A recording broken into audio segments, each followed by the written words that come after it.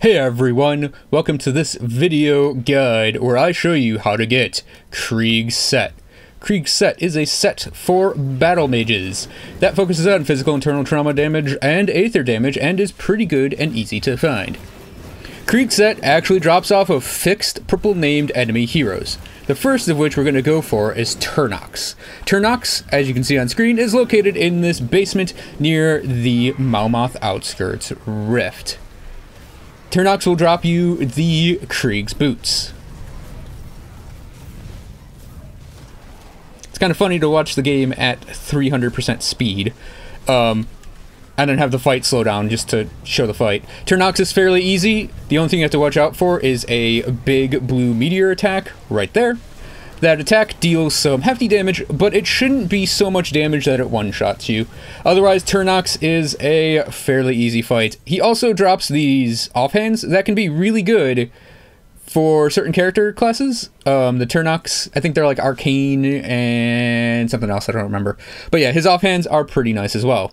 Now, he can spawn in multiple places in this basement. That's the first spawn. The second spawn is kind of over here in this group. He can be across that little bridge there. And then the third spawn, after we beat this uh, obnoxious titan, the third spawn is up here near this piece of dynamite. It's an easy place to clear out. Turnox is an easy boss. So it should be an easy piece to get.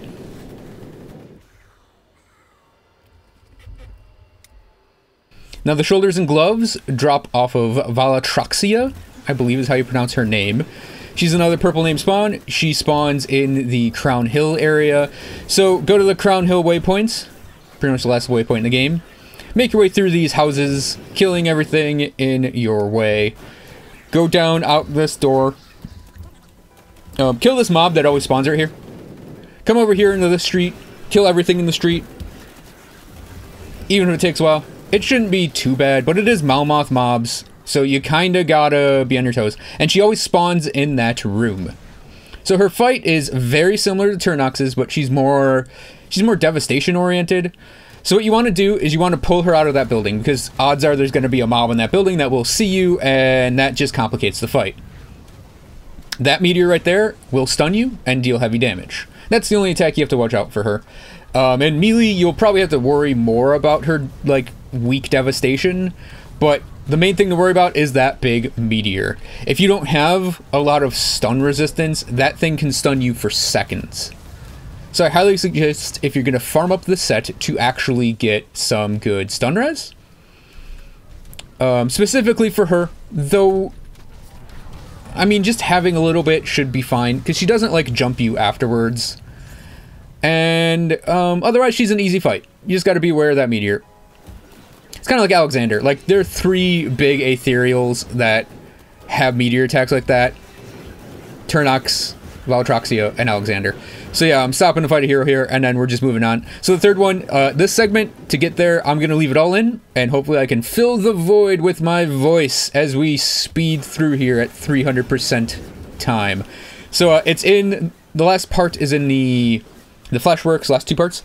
It is the chest and head. Um, and you get that off of Krieg himself. The real Krieg, not Warden Krieg. Fleshwarper Krieg, the Krieg that is the actual ethereal being that we get to go kill. So you can very quickly run through here and avoid fighting pretty much everything. And you want to make your way to the door here, take the left-hand path, and go right into the Fleshworks. And then you want to go to the left side of the Fleshworks. I'm actually going to die right here. Um, there are five of these Colossus Titan guys, including the Arcane one. So, uh, yeah, I just get jumped and killed. But, um, Hmm. I wonder. I wonder if I'll go and mess him up. Spoiler alert! I go and I mess him up. I basically kill everything except the arcane guy and leave him for last. Arcane is not that bad to deal with, just as an aside. Um, it's not like Locksmere where you'd get jumped by Locksmere after he nullifies you and just deleted. Um, but yeah, you can either run past or kill the mobs here. I chose to kill them just because I knew if I did die against Krieg, I wouldn't want anything waiting outside my portal. So we throw a portal down outside this door. He's sort of a mini boss. Hop in here. There are usually going to be some of these uh, ethereal uh, tentacle thingies. I don't remember the names. Um, Good at Grim Dawn guides, huh, guys? And you fight Krieg. Did I say Warper? Flesh... Flesh Weaver? Flesh Weaver Krieg. Again, good at these guides. So yeah, he's sort of a souped up version of all the the Flesh Warper Reanimator guys you fight in the Ethereal Vanguard. And he shouldn't be too difficult. He does have this sort of like crystal attack that you saw just a second ago that will actually be kind of difficult to deal with because it's a burst from crystals you can't destroy. Alrighty, you may be asking, what exactly does the Krieg set provide a Battle Mage? Well, this set is heavily focused on physical, aether, and internal trauma damage. Damage types that, you know, kinda work well with the Battle Mage combination. So the ability it grants, we'll start with that, is Krieg's Wrath. And Krieg's Wrath, your character shouts, Feel my wrath, like Krieg, and does an AoE Nova attack. It's a fairly large attack. That skill's not ready. And it deals okay damage. There is well that's the dot associated just to my damages. But yeah, it's a it's a burst attack, goes on cooldown, um, and deals weapon damage, physical damage, and aether damage. The chest piece provides plus two to reckless power and break morale. The helmet reduces the cooldown of Blitz, provides plus 3 to Blitz, adds Aether damage to Blitz, reduces the cooldown of Warcry, and adds Aether damage to Warcry. So when you use Warcry, you'll actually deal a chunk of Aether damage to your enemies. It's not a lot, though. I mean, it's damage. Warcry's great. You're probably running Warcry regardless as a battle mage. So uh, added damage is just pretty nice. You also, with the helmet, get the Aether Spine's ability. So there's a 25% chance when you're hit, you do a tiny bit, in all honesty, of retaliatory damage. That might have to get buffed up a bit, but I mean, it's free damage, so can't really argue with that. The shoulder guards are pretty standard shoulder guards for a set. You get plus two to mirror and Warcry. The gloves have Krieg's Fury, chance on attack, for you to unleash a shockwave of aether energy upon your foes. We just had that happen. So that is that. It's essentially Aether Smash. And uh, it's pretty common to have a proc. 10% chance. It doesn't sound like a lot, but it actually kind of is. Um, for a glove proc at least. Then you have 80% physical damage converted to Aether on Blitz. So Blitz, we can see it here, it deals a lot of damage, and it deals a lot of Aether damage per hit. Finally, we got the boots, and they're pretty standard boots. You get plus 2 to Reckless Power, plus 2 to Blitz. Um, you additionally, as your set bonuses, basically get a lot of a lot of damage out of this. 120 to the three damage types I mentioned, 6% health, 6% OA, plus one to all soldier skills, plus one to all arcana skills, some flat damage, and then some skill cooldown reduction. I, right now, I'm running this with a shield. I'm trying to do kind of a cooldown setup, which is why we're running Star Pact. So we got 36, which is respectable, given that we are using a shield. It is Will of the Living. I don't have a mythic version yet. We are using Mythical Mind Warp as our weapon. I might switch this guy over to Cadence. I haven't decided yet. I want to get him to level 100 first before I start screwing with his ability points again. Um, other gear to support it, the Iskander's Focusing Prism, I, I just need to get the updated version of that. Or get another amulet that has cooldown on it. Uh, Lightbringer's Imperial Ring of Supremacy is just a ring. It gave plus 2 to Warcry. Uh, Life Fear Signet for the Life Steal. We have a new component in both of these, the Runebound Topaz. This will help us tank. Um, we are going to go fight Warden Krieg, the actual Warden Krieg. Well, not the actual Warden Krieg. We actually did that to get this set. We're fighting the fake warden, I guess you'd call it, the possessed warden. Anyways, yeah, the runebound Topaz is for the percent um, defensive ability and the health, pretty nice. Mark of Anathema, I do have the mythical version, but it's occupied right now. Tinker's Ingenuity, I don't have the mythical version of this, but I'll probably replace it with a better belt later on, given that Ugdenbog leather exists now, and that basically fixes bleed and poison. I've also got Juggernaut still. That's pretty old. I mean, a level 35 relic. Um, I just have it for the OA and the plus one to soldier. I also like the heal. For our skills, um, here's the layout on the soldier side. Like I said, it's mostly about cycling cooldown. So we cycle Blitz, Warcry, and then Callidor's Tempest with Wrath of Agravax. Wrath of Agravax That's what I get for talking a million miles an hour. Um, if I were to refine this and use cadence, I'd probably, well, obviously I'd drop Zolhan's technique. I'd probably pull the overcapped points from Blitz and Callidor's and uh, run this, and then obviously would want Deadly Momentum, but that's in the future. This is just to show off the set and show how cool it is. So let's go, let's go fight the Warden.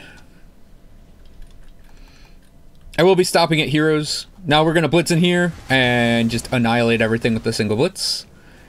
I thought about doing this as a blitz strike character, but um,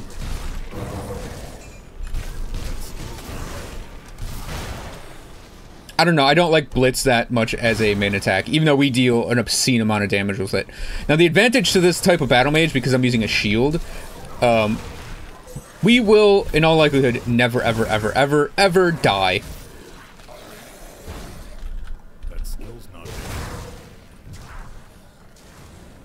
Watch, this is the one time I die in this video. Like, there's a reflective mob or something that kills me. But yeah, um, this is possibly my most tanky character right now. Get out of the way. Um, battle mages are... They are just really tanky as a, a class combination. Yeah, I'm I'm used to there being a door there to cut through that. Got a weird formation this time.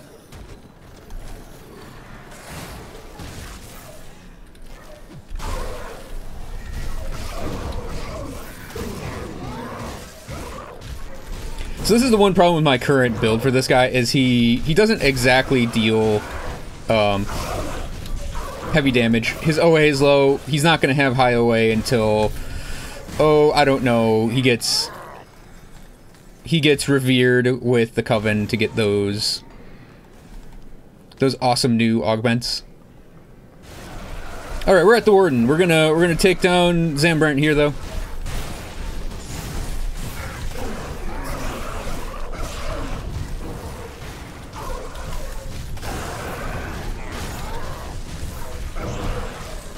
You can run this build with two Mythical Mind Warps. I know someone in the chat that does it. Um, he loves the build. Build strong. Um, I personally prefer to run a tankier Battle Mage, but that's just me.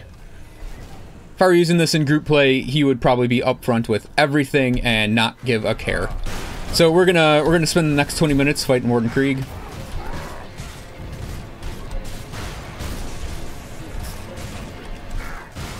Really, he's not doing that poorly. He's just not optimized yet. But he's still 96, still needs to get his reputation with the Coven built up, like I said. And then we'll probably do a little tweaking on the gear. Like, he's still wearing pants from his 85 days. He's still... Like I said, still working on it. But as I mentioned, we, uh, we are incredibly tanky, and... I mean, a dead DPS is zero DPS, right? So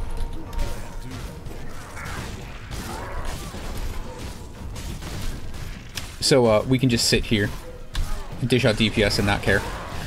The only problem I have with this set is hearing that constantly.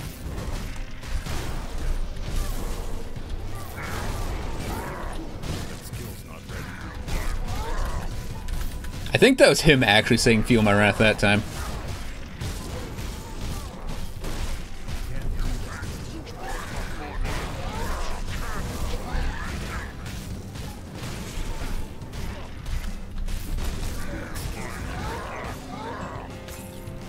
Whole lot of wrath feeling going on there. But that's the the spines attack. Actually, that's a that's a good way to. Oh, the dot's gone. That's actually kind of a good way to show that off is stand in a dot and let it happen.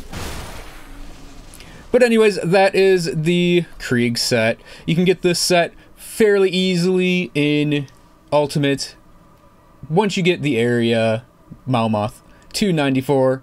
If you have trouble in Malmouth, um, I would suggest just leveling up your character and maybe refining a build a bit, because Malmouth can be a little rough in its current state.